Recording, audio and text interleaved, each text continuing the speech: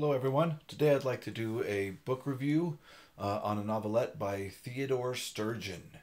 Uh, I've actually come across this in the Science Fiction Hall of Fame, which I am reading. It's a volume one, it's a big, thick book uh, with a lot of classic stories and incredible writers. The stories were all chosen by other science fiction writers. Um, and I've already reviewed Heinlein on here. Um, so now I'd like to review the Theodore Sturgeon novelette that's in that specific uh, book. Uh, the name of the uh, um, novelette is Microcosmic God.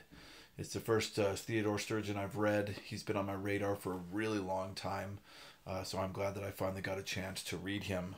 This story was originally published in Astounding Science Fiction magazine in 1941. This review will contain some spoilers. Uh, I'm not going to tell you the entire story, but I am going to need to reveal a couple of things in order to be able to speak about this uh, story. Uh, there's a reclusive biochemist whose last name is Kidder, and he makes incredible inventions, inventions that really change the world.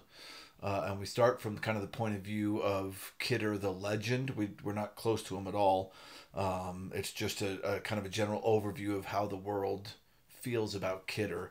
He's incredibly uh, reclusive. He lives on an island uh, that he owns that he wants to be left completely alone. Um, and the only way that people can get a hold of him is uh, really through his banker.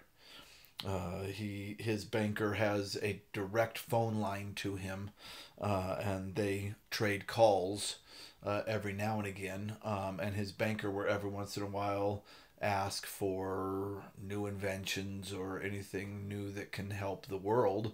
At which point, Kidder will give him stuff like, say, a cure for the cold, uh, or things like that.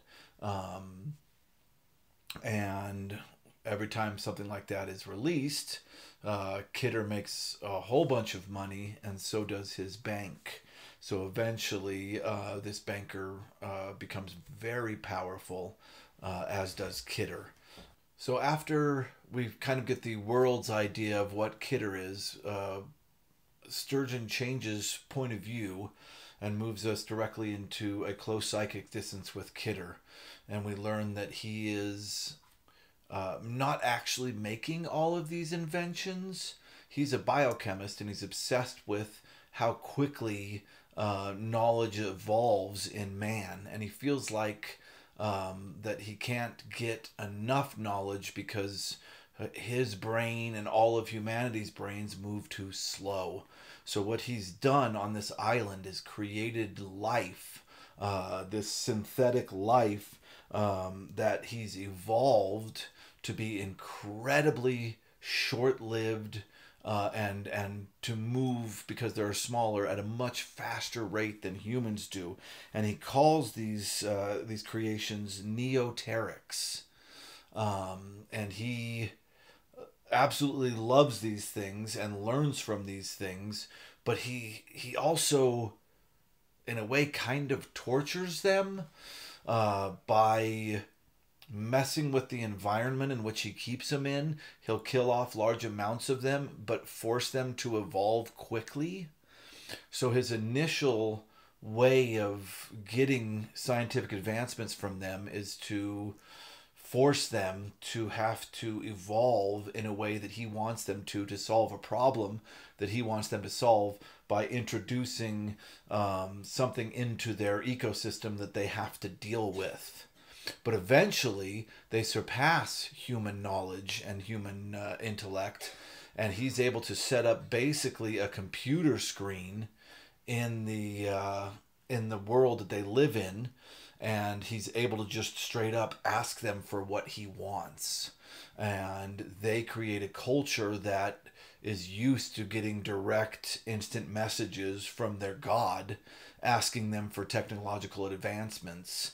Um, and when he first starts doing this if they don't follow protocol and give him what he wants he'll punish them by killing off large chunks of them. Um, so they eventually form this society that is like our whole point of existence is to follow these prompts on the computer screen and create these scientific advancements. And if, if Kidder needs something in a couple of days, he'll just send them a prompt and they'll go through six generations of thousands of their smartest people working on these advancements. They'll get it done in two days Kidder's time, but it will be generations for them. It's really a very brilliant concept, and I, I was just kind of awestruck uh, by the, the, the concept from the beginning. I know that it's become kind of a trope um, but of the the microcosm, they even make fun of it in Rick and Morty that uh, Rick's battery that that makes his car function is actually a microcosm of small beings that are are creating energy that runs his car.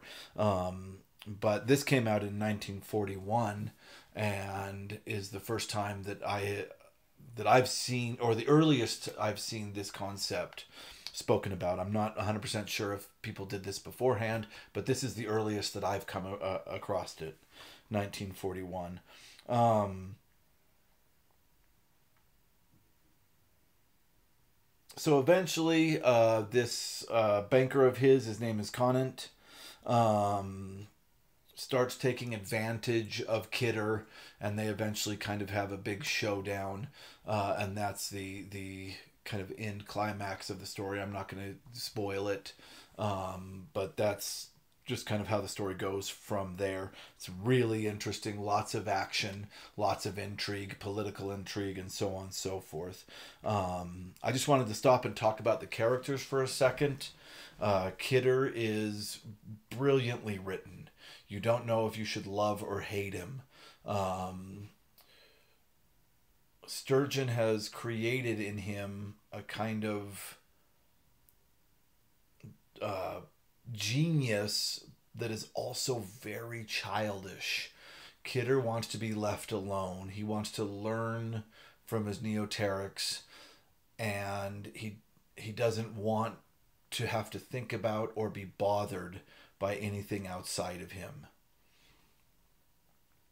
Conant, on the other hand, is ambitious to an extent that he is kind of pure evil and there is evil in in Kidder. Of course, the way that he treats uh, the neoterics brings up tons of of moral and philosophical questions.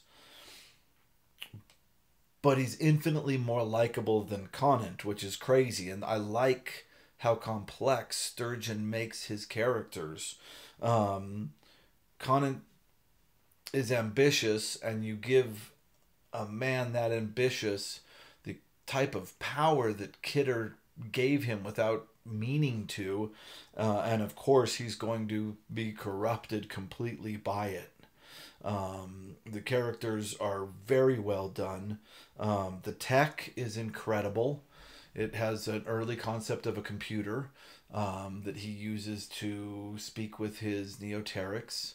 The creation of life and the concept of the smaller something is, the quicker it lives. Absolutely brilliant tech in this story.